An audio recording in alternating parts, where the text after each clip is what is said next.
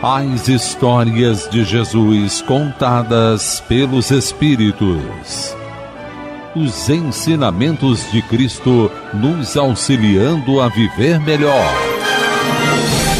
Começa agora o programa Jesus Sempre. Apresentação de Silvia Almeida e Cosme Deolindo. Olá, queridos amigos ouvintes e internautas. Estamos começando agora mais um programa Jesus Sempre. Hoje iremos analisar o texto O Adversário Invisível, que está no livro Pontos e Contos do Espírito Irmão X, o nosso querido Humberto de Campos, na psicografia de Francisco Cândido Xavier. Vamos então ao nosso texto de hoje.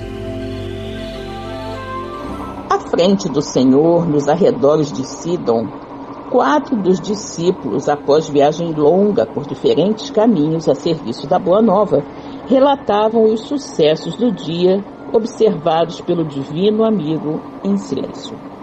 Eu, dizia Pedro sob impressão forte, fui surpreendido por quadro constrangedor. Impiedoso capataz batia cruel sob o dorso nu de três mães escravas, cujos filhinhos choravam estarrecidos. Um pensamento imperioso de auxílio dominou-me.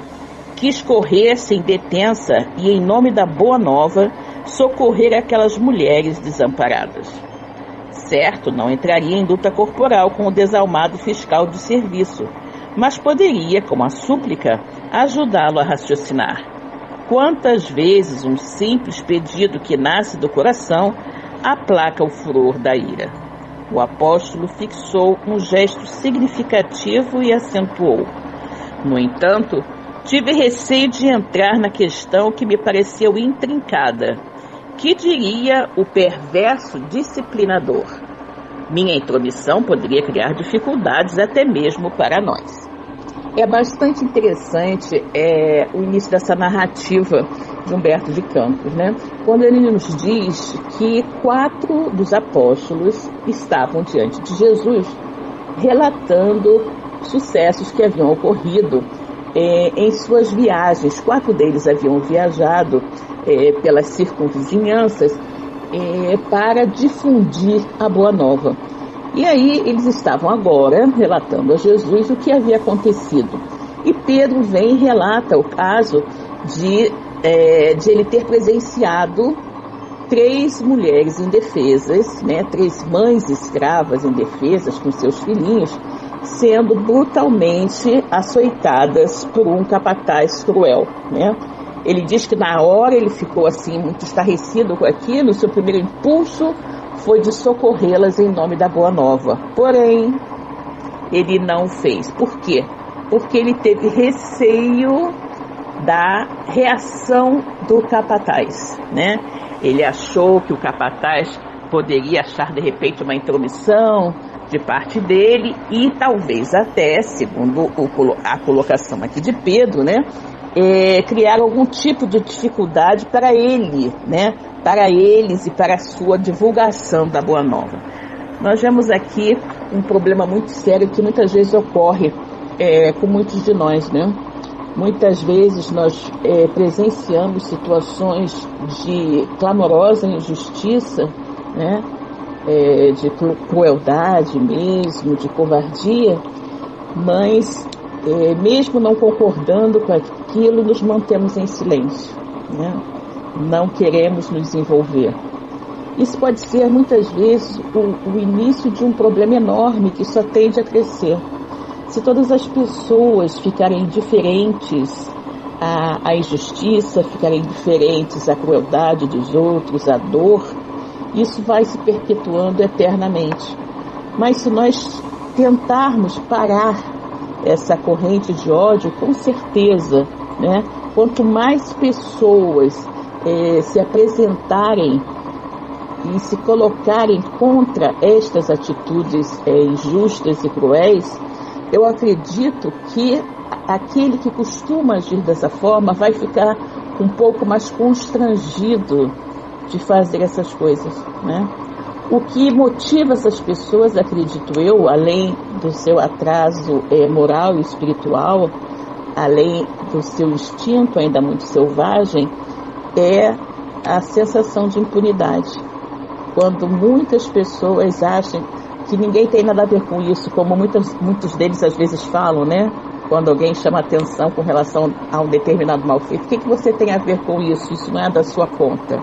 Eu acredito que sim, que é da nossa conta. Que todos nós, como irmãos em Cristo, temos o dever e a obrigação de socorrer é, um irmão que esteja sendo é, é injustiçado, que esteja sendo agredido, né? um animalzinho que esteja sendo é, é, agredido também, maltratado, até mesmo a própria natureza. Né? Eu creio que nós todos devemos nos importar muito, nos importar muito com tudo aquilo de errado que nós observamos em nossa sociedade, porque somente assim, quando nós nos importarmos com essas coisas, é que nós iremos realmente conseguir mudar o rumo é, das atitudes, né? Iremos conseguir mudar o pensamento das pessoas. Nesse texto do Humberto de Campos, O Adversário Invisível, é, o irmão X nos conta sobre é, quatro discípulos de Jesus que, após as suas viagens, vieram sentar com o Mestre e lhes relatar o que ocorreu com eles naquelas suas viagens. E o primeiro a comentar sobre é, aquilo que acontecera é Simão Pedro, o velho pescador de Cafarnaum. É, Simão Pedro comenta que em determinado momento da viagem ele encontrou três mulheres sendo castigadas por um capataz que lhe chicoteava e seus filhinhos choravam por aquela situação, o que lhe deixou realmente muito é, comovido e com um desejo de intervir naquela situação. Embora isso tenha passado pela sua cabeça, pela sua mente, ele não fez, porque ele achou que aquela atitude poderia prejudicar a boa nova de Jesus na sua divulgação. O livro dos Espíritos, Allan Kardec nos comenta, ele faz uma pergunta aos imortais, quando ele pergunta por que o mal ainda sobrepõe o bem. E os benfeitores espirituais nos respondem que é devido a timidez dos bons. Né? E, de fato, todas as vezes que nós desejarmos fazer algo que nós tenhamos consciência, certeza que está certo, nós não devemos nos travar, como fizera Simão Pedro, para que, assim como a resposta dos imortais do livro dos Espíritos, a partir do momento que os bons eles tomarem posicionamento, o mal não mais sobrepor, é, irá sobrepor ao bem. Continuemos então a nossa narrativa. Silenciando Pedro, falou Tiago, filho de Zebedeu. No trilho de vinda para cá, foi interpelado por jovem mulher com uma criança ao colo. Arrastava-se quase, deixando perceber profundo abatimento. Pediu-me socorro em voz pungente, e, francamente, muito me condoída a infeliz que se declarava infortunada viúva de um vinhateiro. Sem dúvida, era dolorosa a posição em que se colocara, e num movimento instintivo de solidariedade, ia oferecer-lhe um braço amigo e fraterno para que se apoiasse, mas recordei de súbito que não longe dali estava uma colônia de trabalho ativo. O companheiro interrompeu-se, um tanto desapontado, e prosseguiu. E se alguém me visse em companhia de semelhante mulher? Poderiam dizer que ensino os princípios da Boa Nova e, ao mesmo tempo, sou motivo de escândalo. A opinião do mundo é descaridosa. Olha o que nós vemos aqui, não é? Mais uma situação em que o apóstolo de Jesus, o propagador da Boa Nova, deixa de auxiliar um irmão em sofrimento pelo simples fato de recear é, o que as outras pessoas poderiam falar dele. Né? Então ele colocou aqui acima da mensagem do Cristo, acima do ensinamento de amor e fraternidade do Cristo, a opinião das pessoas. O que nos faz observar que para esse discípulo, para esse apóstolo, era muito mais importante o que as pessoas pudessem pensar dele do que o que o próprio mestre pudesse pensar ao saber que ele não socorreu alguém necessitado, né? É muito interessante isso, como nós nos preocupamos com o julgamento é, das pessoas, com o julgamento dos homens, e esquecemos de nos preocupar em agradar a Deus. Muitas vezes nós fazemos coisas que podem agradar muito à sociedade, muito aos homens, mas desagradar profundamente a Deus. Nós temos que lembrar que somos espíritos imortais, espíritos vivendo uma experiência na carne. E que nós temos que lembrar também que nossa verdadeira vida é a vida do espírito, e que quando voltarmos ao plano espiritual, nós teremos que dar contas a Deus, nosso Pai Criador, do que fizemos, né? do que fizemos enquanto estávamos aqui. Então vamos ser mais atentos, vamos reconhecer que realmente aquele a quem nós devemos agradar, aquele a quem nós devemos satisfazer com nossas atitudes é a Deus e não ao homem, tão ou mais cheio de culpas e iniquidades como nós. Há uma sentença que Jesus eh, nos coloca no Evangelho e nos fala diretamente sobre essa situação desse novo discípulo. É, o Mestre Amado nos afirma que aquele que pega na charrua, mas olha para trás, ainda não está preparado para é, seguir o caminho com Jesus. E de fato, todas as vezes que nós é, nos preocupamos com qualquer situação que seja, e nós a colocamos como empecilho para nós seguirmos na trajetória da orientação da Boa Nova de Jesus, nós ainda não estamos preparados para seguir com a orientação do Mestre Amado. Todas as vezes que os companheiros se julgarem de uma certa forma preocupados com essa situação ou outra, nós é, estamos colocando ela no nosso caminho, ou seja, são, são verdadeiramente os obstáculos que nós estamos nos impondo. E principalmente quando se trata de alguém ou alguma coisa. Porque, como você mesmo colocou, Silva, nós não podemos dar mais valor do que é externo do que a própria orientação do mestre Galileu. Então que nós tenhamos muita preocupação e muita vontade para poder seguir sempre as orientações dele, que são verdadeiramente aquilo que ele mesmo nos afirmou. Para chegar a Deus, ele é o caminho, é a verdade e é a vida. Continuemos então. Outro aprendiz adiantou-se. Era Bartolomeu, que contou espantadiço. Em minha jornada para cá, não me faltou desejo à sementeira do bem. Todavia, que querem? Apenas lobriguei conhecido ladrão. Vi-o a gemer sob duas figueiras farfalhudas durante longos minutos, no transcurso dos quais me inclinei a prestar-lhe assistência rápida. Pareceu-me ferido no peito em razão do sangue a torejar-lhe da túnica mas tive receio de inesperada incursão das autoridades pelo sítio e fugi. Se me pilhassem ao lado dele, que seria de mim? Vejamos aqui mais um exemplo, né? Em que, diante de um irmão necessitado, é, Bartolomeu, no caso, é, preferiu é, ignorar a dor alheia com medo do que pudessem pensar dele. Na verdade, ele teve medo de se envolver com o caso, né? de se envolver com aquela situação. Sabia ele que se tratava de um, um, malfeitor e não quis ser visto ao lado daquele, é, daquele irmão tão conhecido como é, alguém que andava na contramão, vamos dizer assim, é, da lei.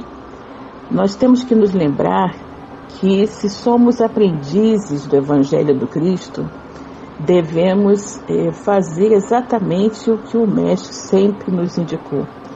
Jesus jamais disse que nós deveríamos perguntar quem era a pessoa qual era sua, o seu segmento religioso, qual era a sua profissão, quem era ele, no que ele acreditava, qual era a sua inclinação política, se víssemos alguém é, precisando de ajuda. Jamais deveríamos perguntar essas coisas antes de prestar ajuda ao nosso irmão. E aqui vemos que Bartolomeu, sendo um discípulo direto do Mestre, tendo ouvido essas orientações de Jesus pessoalmente, não hesitou em primeiro considerar que aquele homem que estava ferido e precisando de ajuda era um malfeitor. Ele não conseguiu enxergar ali um irmão em Cristo, não conseguiu enxergar ali um filho do mesmo pai, né? um membro da grande família universal, coisa que Jesus o tempo todo ensinava.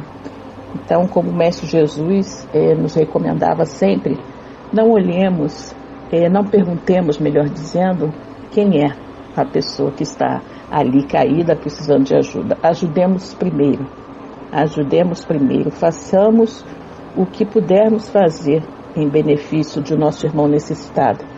O que ele é, o que ele deixou de ser, não nos compete mesmo porque não nos cabe julgar, não é? Não nos cabe julgar. O julgamento de todos nós será feito depois. É, na verdadeira vida, será feito por Deus.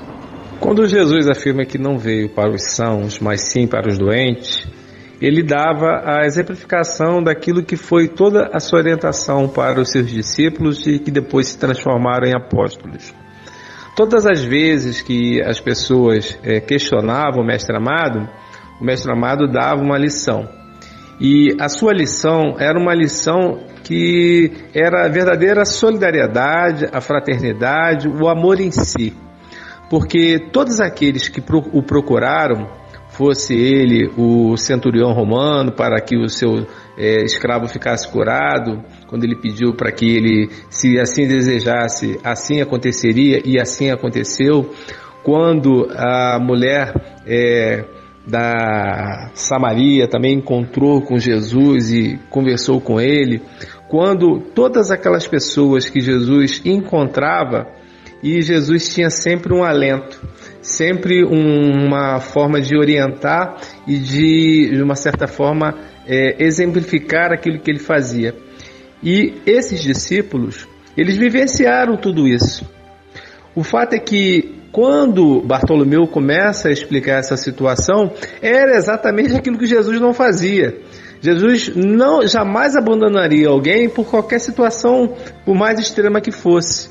Porque acima de tudo estava a fraternidade, o amor em si, a compaixão para com o próximo.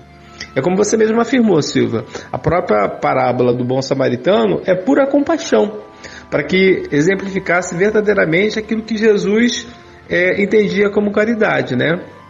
Benevolência para com todos, a indulgência para com as imperfeições dos outros e o perdão das ofensas.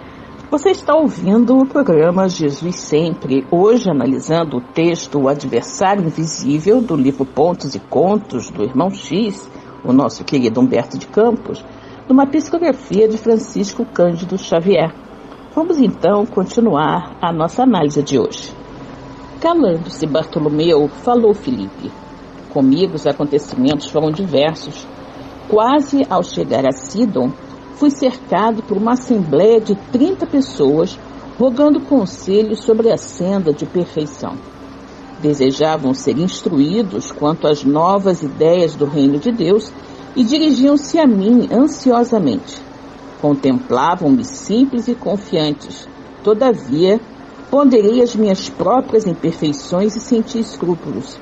Vendo-me roído de tantos pecados e escabrosos defeitos, julguei mais prudente evitar a crítica dos outros. A ironia é um chicote inconsciente. Por isso, Emudeci e aqui estou.